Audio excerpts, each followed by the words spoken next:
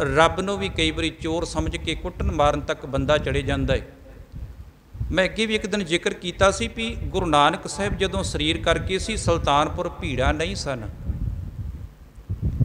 ਉਦੋਂ ਲੋਕ ਇਕੱਠੇ ਨਹੀਂ ਸੀ, ਮੱਸਿਆ ਇਸੇ ਤਰ੍ਹਾਂ ਨਹੀਂ ਸੀ ਲੱਗਦੀ ਵੀ ਲੋਕ ਬਾਹਰ ਲੈਣ ਦੇ ਵਿੱਚ ਲੱਗੇ ਐ ਤੇ ਮੱਥਾ ਟੇਕਣ ਵਾਸਤੇ, ਗੁਰੂ ਨਾਨਕ ਸਾਹਿਬ ਦੇ ਦਰਸ਼ਨ ਕਰਨ ਵਾਸਤੇ ਭੀੜ ਹੈ। ਜੇ ਇਦਾਂ ਭੀੜ ਹੁੰਦੀ ਤੇ ਕੋਈ ਲੋੜ ਨਹੀਂ ਸੀ ਉਹਨਾਂ ਨੂੰ ਬਾਹਰ ਚੱਕਰ ਲਾਉਣ ਦੀ। ਲੋਕਾਂ ਨੇ ਆਪੇ ਆ ਜਾ ਕਰਨਾ ਸੀ, ਉਹਨਾਂ ਕਹਿਣਾ, ਕੋਈ ਨਹੀਂ, ਜਿਹਨੂੰ ਲੋੜ ਹੈ, ਆਪੇ ਇੱਥੇ ਤੁਰੇ ਆਉਂਦੇ, ਕੀ ਲੋੜ ਹੈ ਬਾਹਰ ਜਾਣ ਦੀ? ਪਰ ਉਹ ਘਰ ਘਰ ਦੇ ਵਿੱਚ ਪਹੁੰਚੇ, ਜਿੱਥੇ ਜਿੱਥੇ ਵੀ ਕੋਈ ਧਰਮ ਦੇ ਨਾਂ ਦੇ ਉੱਪਰ ਲੁੱਟਿਆ ਜਾ ਰਿਹਾ ਸੀ, ਉਹ ਹਰ ਉਸ ਜਗ੍ਹਾ ਦੇ ਉੱਪਰ ਗਏ ਤੇ ਉਸ ਟਾਈਮ ਤੇ ਵੀ ਕੋਈ ਵਿਰਲਾ ਭਾਈ ਭਗੀਰਥ ਵਰਗਾ ਹੀ ਜਿਹੜਾ ਸੱਚ ਦਾ ਪੁਜਾਰੀ ਬਣ ਕੇ ਆਉਂਦਾ ਏ।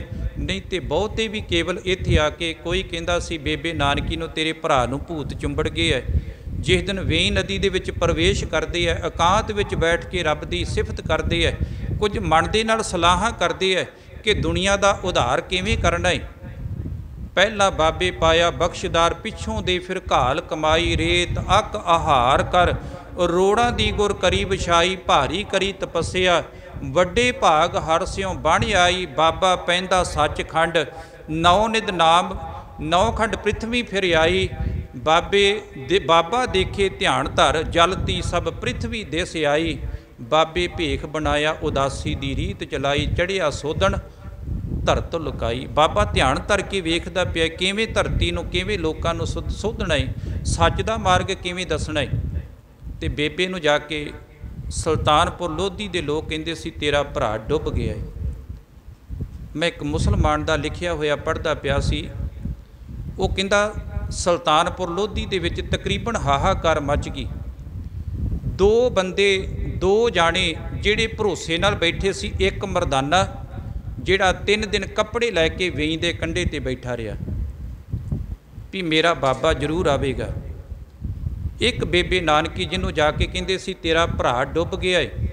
ਉਹ ਕਹਿੰਦੀ, ਨਹੀਂ, ਸ਼ਾਇਦ ਤੁਹਾਨੂੰ ਪਤਾ ਨਹੀਂ, ਉਹ ਡੁੱਬਿਆਂ ਨੂੰ ਤਾਰਨ ਵਾਸਤੇ ਆਇਆ ਏ।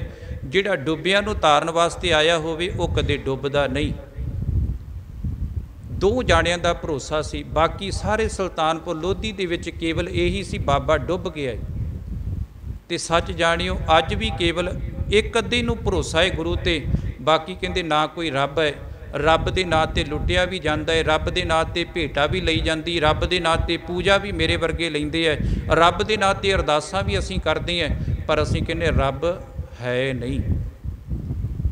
ਰੱਬ ਦੇ ਨਾਂ ਤੇ ਖਾਣੇ ਵੀ ਹੈ, ਰੱਬ ਦੇ ਨਾਂ ਤੇ ਬੱਚੇ ਵੀ ਪਾਲਦੇ ਐ ਰੱਬ ਦੇ ਨਾਂ ਦੇ ਉੱਪਰ ਲੋਕਾਂ ਨੂੰ ਜਿਹੜਾ ਵਾ ਲੁੱਟਿਆ ਵੀ ਜਾਂਦਾ ਏ ਰੱਬ ਦੇ ਨਾਂ ਤੇ ਭੇਟਾਵਾਂ ਲਈਆਂ ਜਾਂਦੀਆਂ ਨੇ, ਰੱਬ ਦੇ ਨਾਂ ਤੇ ਧਾਰਮਿਕ ਸਥਾਨ ਬਣਾਏ ਜਾਂਦੇ ਐ ਪਰ ਆ ਇਹ ਗੱਲ ਕਹੀ ਜਾਂਦੀ, ਰੱਬ ਹੈ ਨਹੀਂ ਗਾ